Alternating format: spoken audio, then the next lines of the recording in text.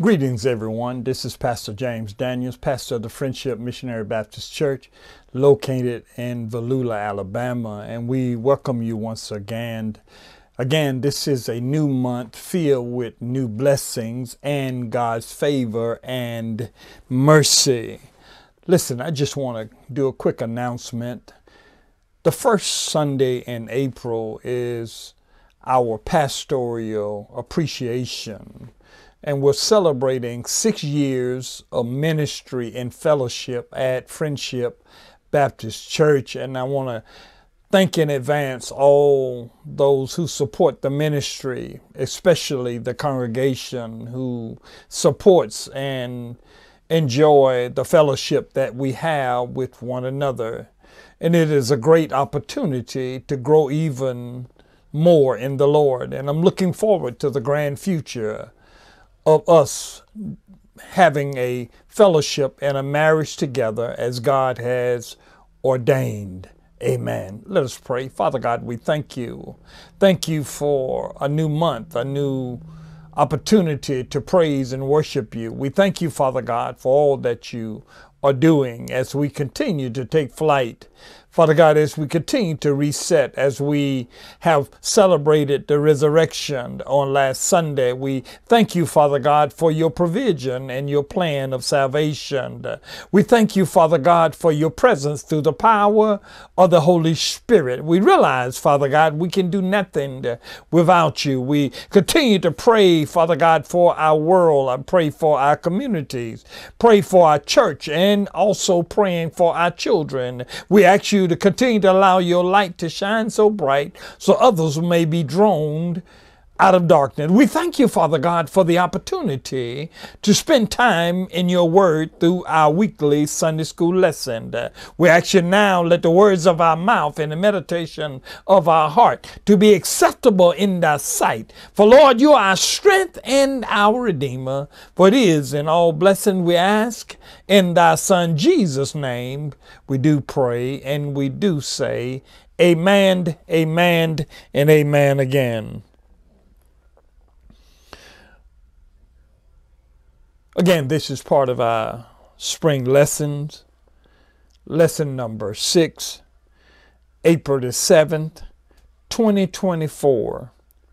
Unit number two, the measure of faith.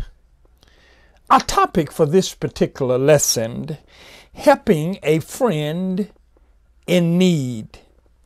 Helping a friend in need. And I, I begin to just think about our topic because it is true that we all need friends. We all need friends that we can count on. And, and if you allow me to just take the word friend just for a moment, we all need friends that are faithful.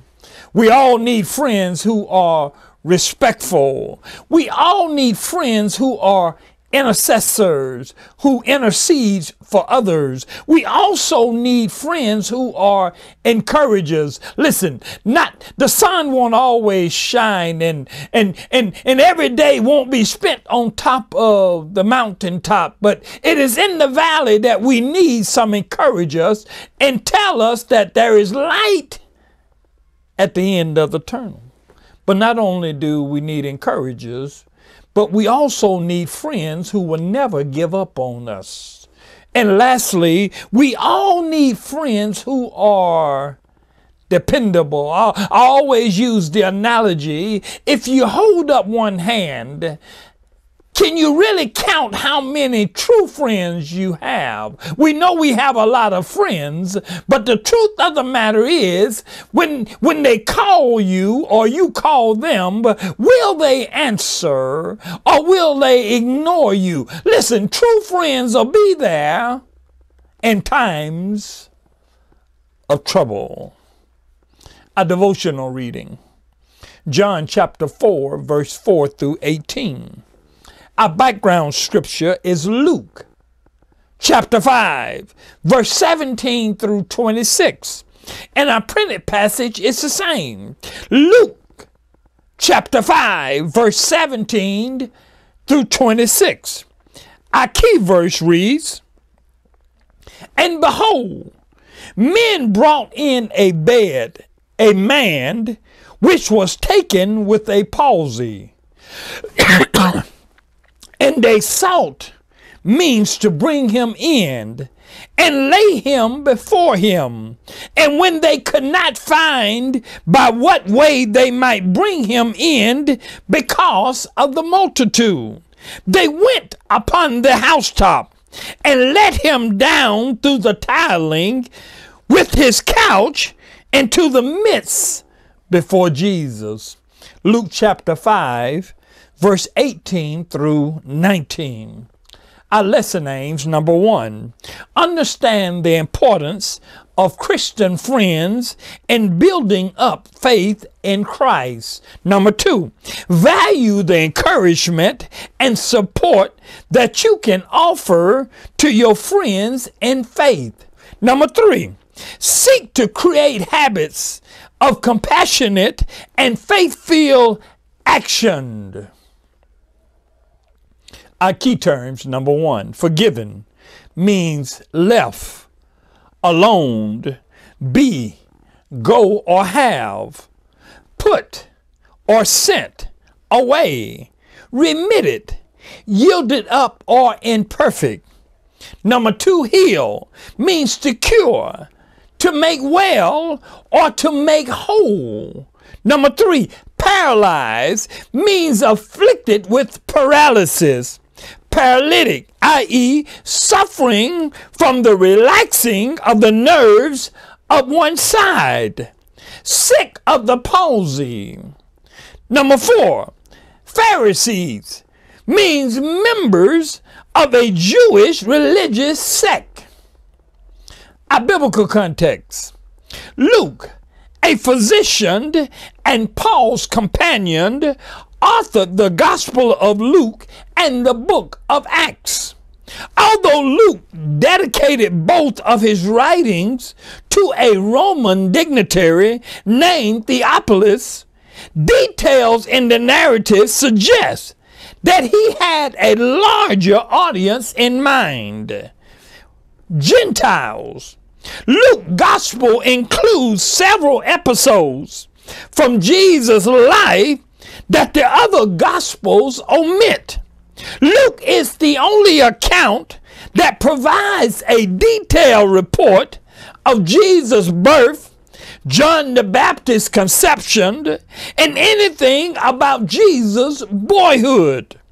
Luke portrays Jesus as the compassionate Son of God.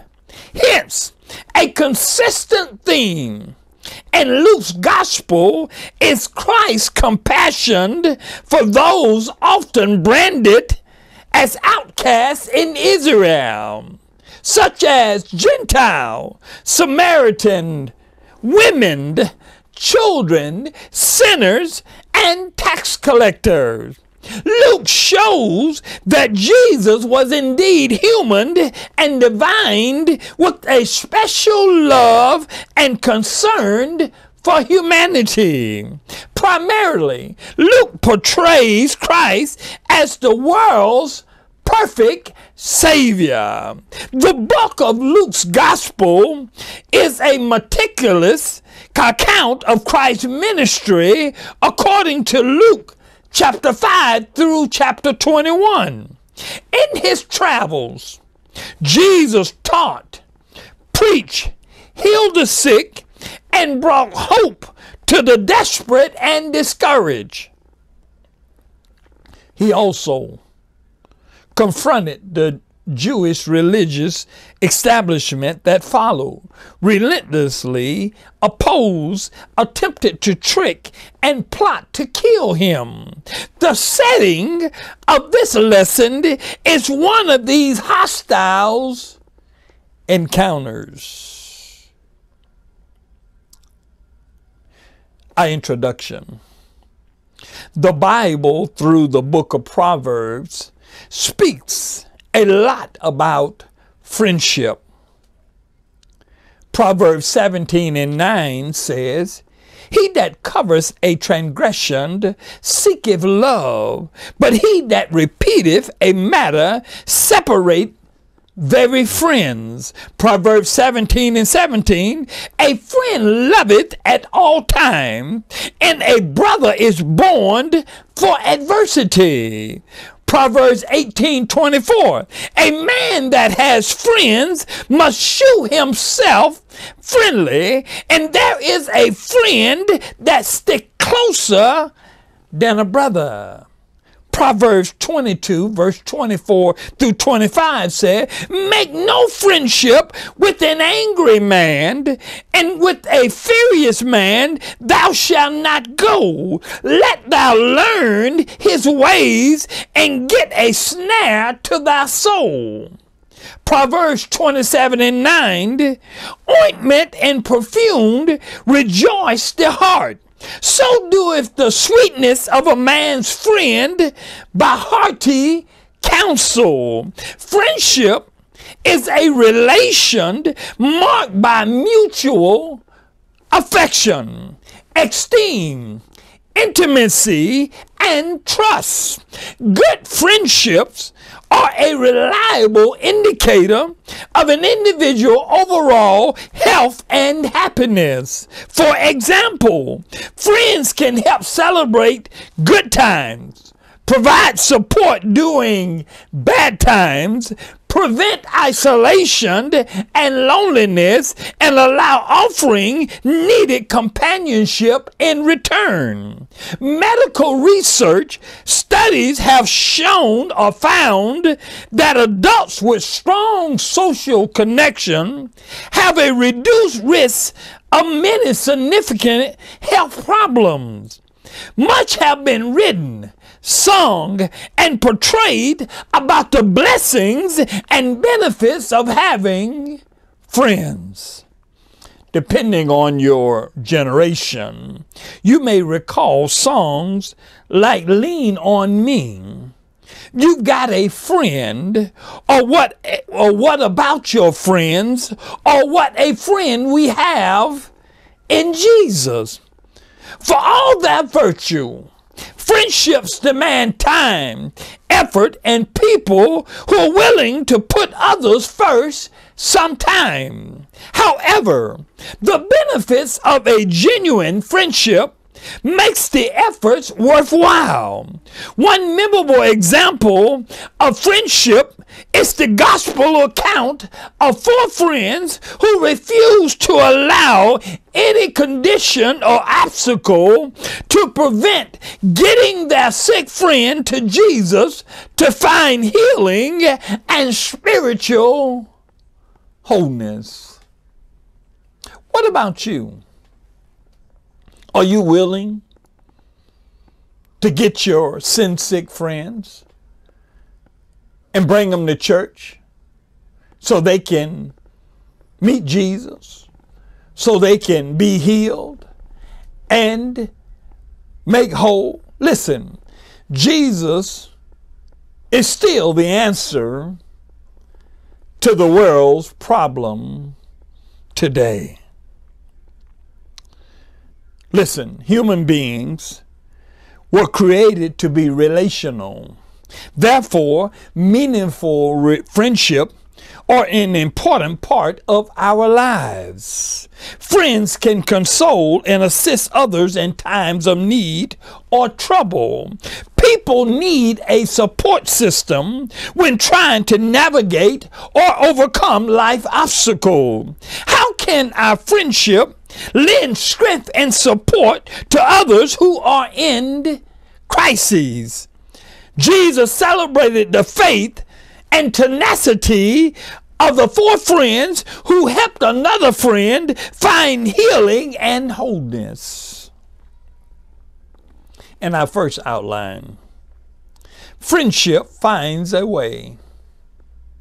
Friendship finds a way. Luke chapter 5, verse 17 through 20. And verse 17 reads, And it came to pass on a certain day, as he was teaching, that there were Pharisees and doctors of the law sitting by, which were come out of every town of Galilee and Judea and Jerusalem, and the power of the Lord was present to heal them. Verse 18 And behold, men brought in a bed a man which was taken with a palsy, and they sought means to bring him in and to lay him before him. 19. And when they could not find by what way they might bring him in because of the multitude, they went upon the housetop and let him down through the tiling with his couch into the midst before Jesus. Verse 20. And when he saw their faith, he said unto him, Man, thy sins are forgiven thee. Luke chapter 5, verse 17 through 26 records Jesus' second miracle after the first call of his disciples. True to Luke's emphasis on his compassionate role as the Son of Man, according to Luke chapter 5, verse 1 through 11, Jesus had already healed a man with leprosy, according to Luke chapter 5, verse 12 through 15. At this point in his ministry, large crowds, including Pharisees and teachers of the law followed Jesus everywhere. Thus, while Jesus taught in Capernaum, many religious leaders from Galilee, Judea, and Jerusalem were present, looking for an occasion to oppose him. Yet, while teaching, Jesus still possessed the spiritual ability to heal the sick. Amongst the assembled crowd were four men carrying a paralyzed friend, attempting to bring him in before Jesus for healing. Unable to enter the room, these men took their friend to the rooftop removed some towels and lowered him from the roof directly in front of Jesus. Luke does not indicate whether that was a verbal exchange between Jesus and these extraordinary friends, but their unselfish display of friendship was an unspoken appeal for Jesus' response. Jesus recognized that the men's faith faith motivated them to act as they did. Consequently, but surprisingly, Jesus responded by first forgiving the man's sin instead of healing him. And many say you got to get to the root cause of the problem before you can look at the wholeness and the situation. So Jesus spoke to the root cause, which was the man's sin. In this context, Luke intends to show that Jesus had the authority to forgive sins and healed physically. The four friends demonstrated how Christian friendship can be the very support system someone needs to overcome life obstacles. A relevant side theme here is that God honors the faith of those who seek to bring others to Christ. In this season of selfish individualism, demonstrating biblical friendship is vitally important. Life uncertainties and tragedies have paralyzed and traumatized humanity within and without the faith community. Everyone stands to benefit from good friendship especially those that draw others closer to Christ for spiritual healing.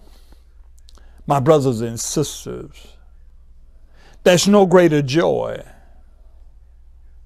to invite someone to taste and see that the Lord is good. Listen, we invite them to the restaurants that we have verified. We invite them to clothing outline that we have visited. So why not invite them to come see a man, as the woman of the well attests to, that come see a man who told me all about my situations and problems.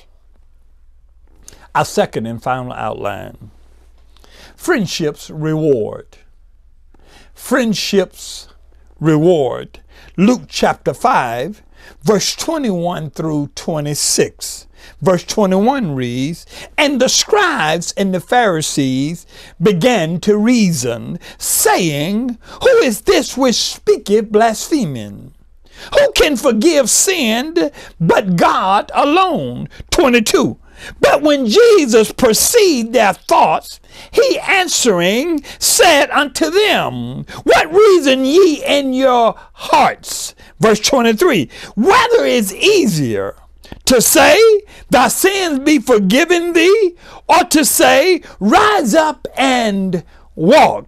Verse 24, but that ye may know that the Son of Man has power upon the earth to forgive sin. He said unto the sick of the palsy, I say unto thee, arise and take up thy couch and go into thine house. Verse 25, and immediately he arose Immediately he rose up before them and took up that whereon he lay and departed to his own house, glorifying God. Verse 26 And they were all amazed, and they glorified God, and were filled with fear, saying, We have seen strange things today. My brothers and sisters, Jesus' declaration that the man's sin were forgiven invoked a silent accusation of blasphemy a claim to be God against him from the Pharisees and the teachers of the law. Blaspheming was the core of charges this group lodged against Jesus and the motivation for their push to have him crucified. In their spiritual blindness, Jesus' enemies counted his claims of spiritual authority as groundless and worthy of capital punishment, which is death. Jesus discerned their thoughts and asked why they would think such a thing, proving his authority to forgive sin. Jesus contradicted their thinking by healing the man, something the law, prophets, and other teachings claim only God had the power to do. The paralytic healing was instantaneous. And he stood up before the crowd, picked up what he had been laying on, and rejoiced, giving glory to God. This miracle amazed those who witnessed it. And they joined the man in praising and glorifying God, knowing that they had seen something incredible. Although the crowd may have failed to understand the full implications of who Jesus was and is, they did recognize the awesomeness of God's presence and marvel what he had done. This great miracle became the visible reality because of the caring determination of four friends on behalf of a mutual friend who was in need. Because of his friends, the man was able to have an encounter with Jesus that resulted in spiritual and physical healing. The miracle proved Jesus' authority to forgive sin and heal and silence those who oppose him. Christian must not overlook the positive spiritual, physical, and emotional impact of a demonstrating agape love through genuine friendship. The capacity to display this love is related to an intimate and obedient relationship with Jesus Christ, the greatest friend of all. As we mature in Christ, his value becomes our. Among these values is the love expressed through friendship filled with compassion, faith, and sacrifice. Jesus reminds us in John chapter 15, verse 13 and 14 Greater love have no man than this, that a man lay down his life for his friend. Ye are my friends if you do whatsoever I command you, my brothers and sisters. Once God has healed and delivered us, once we have had an encounter with the living Christ, we ought to run and tell that. We ought to tell our friends, our family, our co-workers, all the people that we meet on a daily basis. We ought to tell them about a man named Jesus, how he healed us, delivered us, turned our world upside down, gave us another opportunity, wiped our slate clean, gave us a new chance to live again. We ought to run and tell that. Because it's the good news. It is the good news about Jesus the Christ. So, as we close out this lesson, my brothers and sisters, you don't have to look far beyond your current environment to discover someone who needs the help of a friend. Ask God to give you opportunities to use your unique spiritual resources to be the kind of friend who will help, encourage, and strengthen someone in need. People in this generation need more Christian friends to unify, encourage, and strengthen them in their faith. We're surrounded by lonely, hurting, and needy people in and beyond the church. The lesson challenges us to be intentional about developing high quality friendship that let us use our gifts, talents, skills, to help someone else. The capacity for accomplishing this task first begins with our relationship with Christ. As we submit to Him, His compassionate love and concern for others will impact how we relate to someone else. Listen, Christian friendship it's not a thought or a feeling. It is an action. As you reflect upon this lesson this week, identify someone at home, on the job, or in your community or church who needs physical, emotional, or spiritual support. Brainstorm and select ways to demonstrate true friendship by offering to meet a specific need with compassionate love. My brothers and sisters, Jesus has given us a command to go, to demonstrate this love, to teach, and to help others who are in need.